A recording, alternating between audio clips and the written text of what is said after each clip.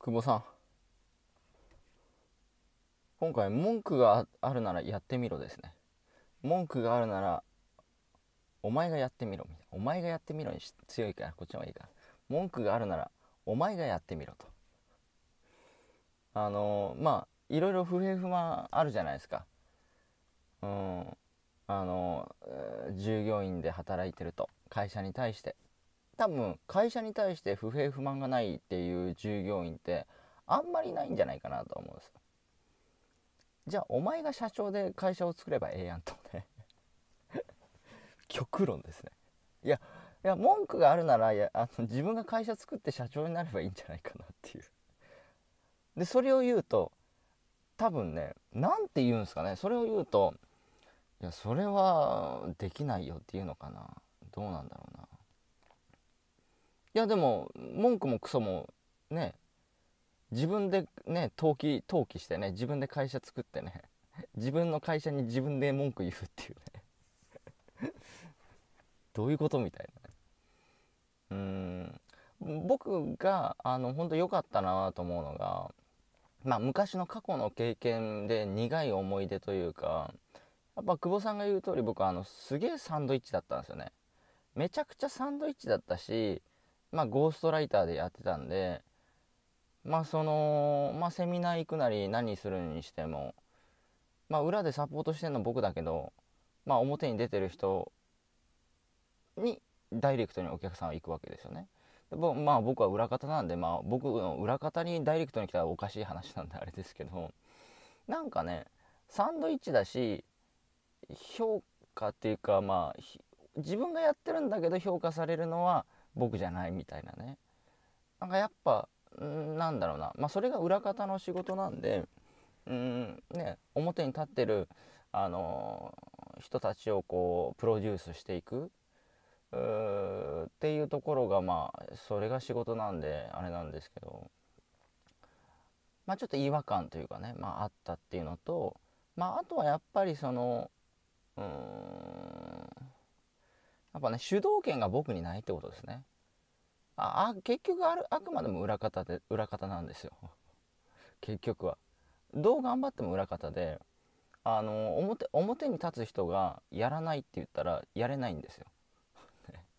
だここ一番のジレンマがここでしたね。表に立つ人のが結局決定権があってやらないって言ったらねやらなやれなくなるんですよ。そうだから僕はその独立して一人になって本当に自由になりましたね。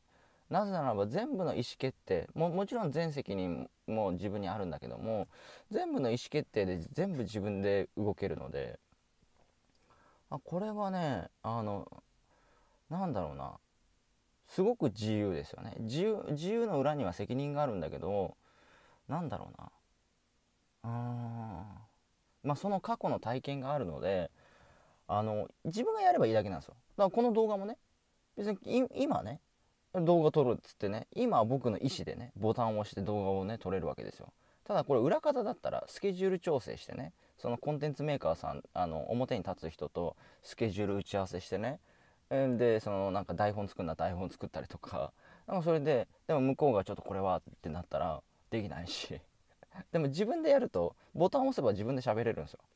こんなスピード感覚ないっすよ。めちゃくちゃスピード高いしめちゃくちゃいいっすよ。うん。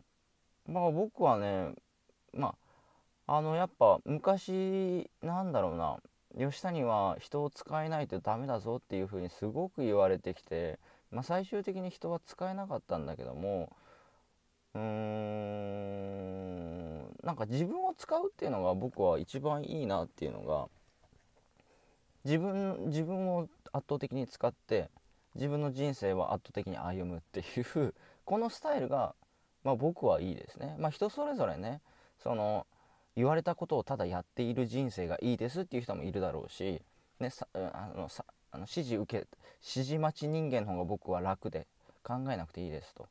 指示待ち人間っていうのは指示を考えてくれるんですよ。だから考えなくていいんですよ。楽なんですよね。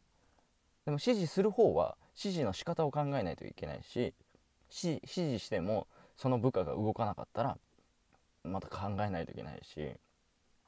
昔ね会社でねまあ僕はうまくいかなかったですけどいろんな本読んでねなんかネットビジネスの会社なのになんか「てっぺん」っていうね結構有名な本のなんかあるんですよ「てっぺん」っていう本というかまあそのなんかその朝礼がすごいみたいな。日本一の朝礼みたいな。でそこの日本一の朝礼の居酒屋だったかな。そこにいっぱいいろんな会社さんが集まって朝礼見に行くみたいな。でその本読んで朝礼を取り入れようみたいなね。でそのなんか段ボールじゃないですけどなんか冗談作ってね。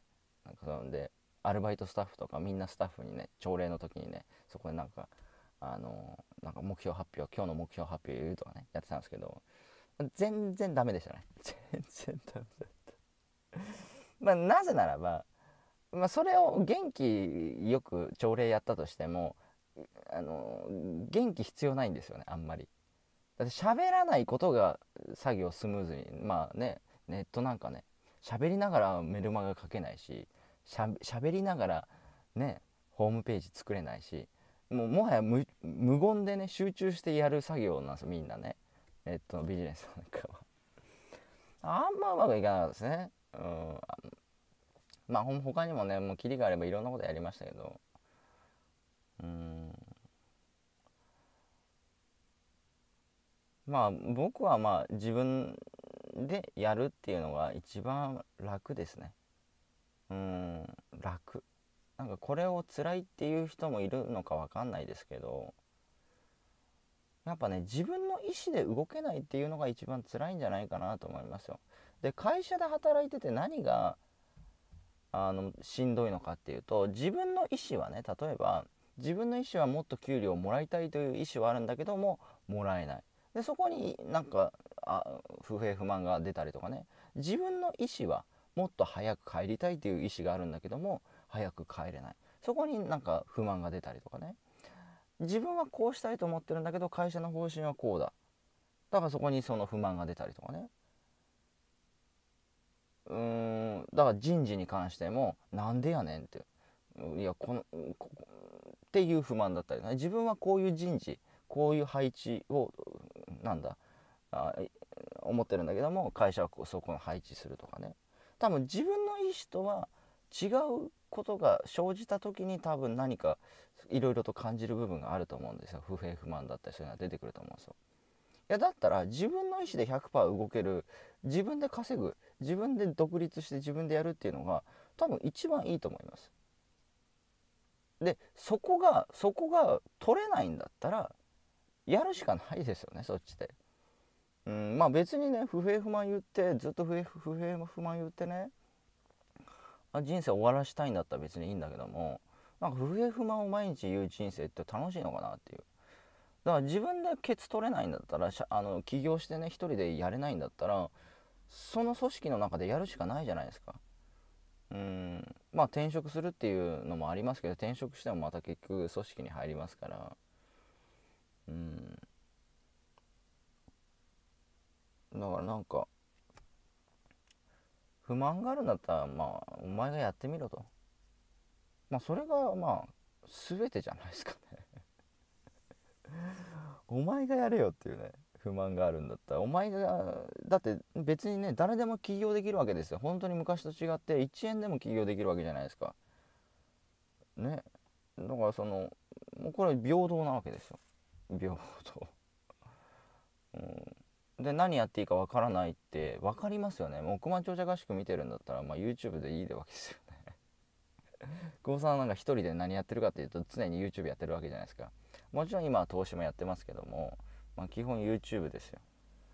そう YouTube が生活のスタイルというかね。そう。なんかこの前なんか NHK の週なんかねなんだっけな。あの、なんかなんか国の調査が国というかなんかその従業員を雇ってるか雇ってないか雇ってた場合はなんかそのなんか払わないといけないんですよね。でそれの確認できたんですよ事務所に。で僕従業員誰も雇ってないんで、まあ、払う必要ないんだけども、まあ、一応確認でなんかピンポン来て「すいません従業員いますか?」みたいな「いやいないです」と「お仕事何やられてるんですか?」と「あ YouTuber です」「YouTube やってます」みたいな。あ今話題の YouTube, YouTube ですねみたいな。分かりましたみたいなね。YouTube 超便利みたいなね。前はねなんかネット関連やってますとかね広告代理店やってますとかね。なんかなんか小難しい話をしないといけないなんかあったんですけど今 YouTube やってますで通じるんで超楽っすね今。ありがたいですね。今 YouTuber ですって言えばいいんで。すげえ楽ですね。一言で説明終わるんで。なんかそのなんか調査調査に来たね。あのおばさんだおばさんも納得して帰りましたね。あ YouTuber ですか？みたいな。今すごいですもんね。みたいな。まあ一人でできるっていうイメージもあるじゃないですか YouTube って。ね。そう。うん。まあ本当に文句があるんだったら自分でやればいいと思いますね。うんで自分でやれないけど文句言うんだったら文句を言い続ける人生を送るしかないしもしくは文句を言わず自分がその中で何ができるのかを模索してやるしかないんですよ。うん、いずれにせよやるしかないんですよ。ね。まあ貯金が10億とか100億とかあってまあ障害賃金が23億って言われてますからまあ5億円ぐらい貯金があればまあ普通の生活だったらまあ働かなくてもいけるでしょう。でもそれがないんだったら働くしかないんですよ。生きていくためにそれぐらい必要なわけですから。23億は。普通の生活するんだったら。ね。40年50年60年70年。生きていくためには23億必要なわけですよ。でそのお金がないんだったら働くしかないと。じゃあどういう働き方をするんですかというところで。いずれにせよやるしかない。いずれにせよ働くしかないうんまあ投資家になってもいいですけども、まあ、投資家という働き方ですよねお金の稼ぎ方なんですけど何やってもいいんだけどもうんやっぱね何やってもいいんだけど自分の意思でやっぱり生きるっていうのが一番僕はいいと思いますね。うん、なんで人生が面白くないのかとか何で人生が辛いのかとかそれって自分の意思とはかけ離れたとこで多分生きてるからだと僕は思うんですね。そう自分の意思の世界で生きるとすげえ楽しいですよ。だから後悔がない。久保さんもね今ね自分の意思の世界で生きてるのでねあのー、今日死んでも別に後悔はないわけですよ。僕もそうですよ。自分の意思の世界で生きてるので。自分の意思の世界の中では自分の意思では今日死んでも後悔がないという意思があるし、えー、自分の意思で全部今日今日動いてるしうん。でも後悔はないですよね。やりたいことやるし。うん。でやりたいことできるんですよ。一人でやってるから。誰誰の指図も受けないし誰のことも気にすることもないし。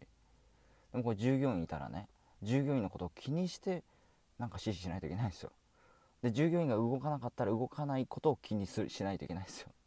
でも自分の場合は自分が動けばいいだけなんで何も気にならないですよね。